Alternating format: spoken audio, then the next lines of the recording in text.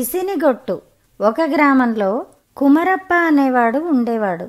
అతను తన గ్రామానికి సమీపంలోనే ఉండే నగరంలో వ్యాపారం చేసేవాడు. అతనిలో డబ్బు కూడబెట్టే గుణమే ఉన్నది గాని ఖర్చు చేసే గుణం లేదు.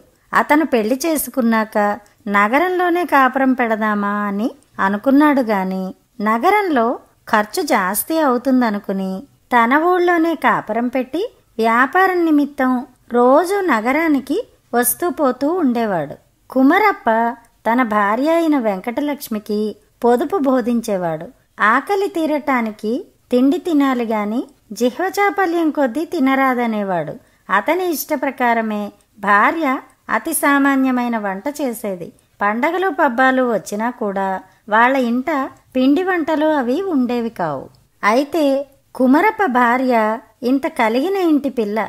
ఆమె తన పుట్టింట అన్ని రకాల రుచులు ఎరిగిన మనిషి. భర్తకు జంకి పేదగా తినటం మూలాన ఆమెకు నోరు చవిచెచ్చినట్టయింది కొంతకాలం చూసి ఆమె భర్త నగరానికి బయలుదేరి వెళ్ళాక తనకు ఇష్టమైనవి చేసుకుని తినటము అవి చేసిన ఆనవాలు లేకుండా చెయ్యటము సాగించింది.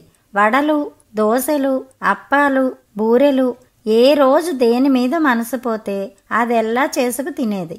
ఆమెకు డబ్బు సమస్య లేదు. ఎందుకంటే కుమరప్పకు తన భార్య మీద ప్రేమ విశ్వాసము ఉండేవి. ఆమె కూడా తనలాగే డబ్బు కూడబెట్టే మనిషి అనుకునేవాడు. ఒకనాడు కుమరప్ప నగరం నుంచి బాగా చీకటపడి తన గ్రామానికి తిరిగి వస్తూ తన పొరుగున ఉన్న ఇంటివాడు పలకరించేసరికి ఆగాడు. ఇవాళ మా ఇంట్లో పూజ చేశాం. ప్రసాదం తినిపో. నీ భార్య చేసే వంటకాలంతా బాగుండవేమో అన్నాడు. పొరుగింటివాడు. రెండు గారెలు తెచ్చి ఇచ్చి నా భార్యకు మామూలు వంట తప్ప పిండి వంటలు చెయ్యటం రాదే అన్నాడు కుమరప్ప ఆశ్చర్యంగా. అదేమిటయ్యా? నీ భార్యకు రాని పిండి వంట ఉన్నదా? రోజూ మాకు రకరకాల పిండి వంటల వాసన వస్తుంది కదా. నా భార్యకు అలాంటి వాసన తెప్పించటం కూడా చేత కాదు.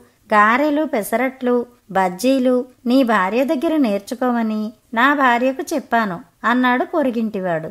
అలాగా?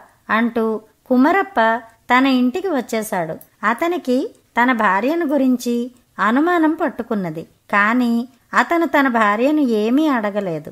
తానే స్వయంగా అనుమానం తీర్చుకోవాలని నిశ్చయించుకున్నాడు. అందుచేత మర్నాడు అతను నగరానికి బయలుదేరినట్టు బయలుదేరి కొంత దూరం వెళ్ళి తిరిగి వచ్చి దొడ్డిదారిన లోపల ప్రవేశించి ఒక చీకటి మూల దాక్కున్నాడు. ఆ రోజు వెంకటలక్ష్మి పెసరపప్పు వేయించి పాయసం చేసింది. కొంచెం బియ్యం నానబోసి రుబ్బి బెల్లము కొబ్బరి యాలకులు చేర్చి అప్పం చేసింది.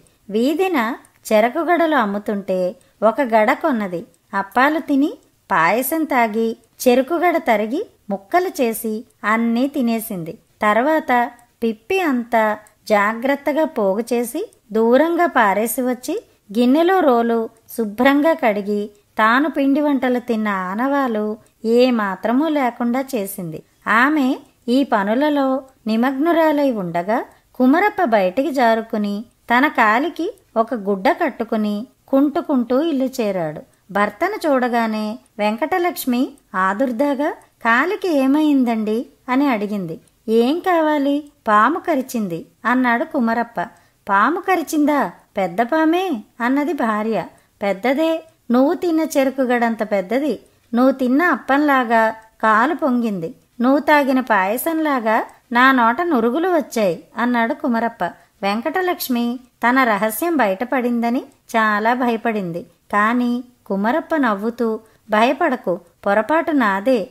కడుపుకింత తినకుండా నోరు కట్టుకుని ఏం లాభం? ఇక నుంచి నాకు కూడా రోజు పిండి వంటలు చెయ్యి. హాయిగా తింటాను అన్నాడు.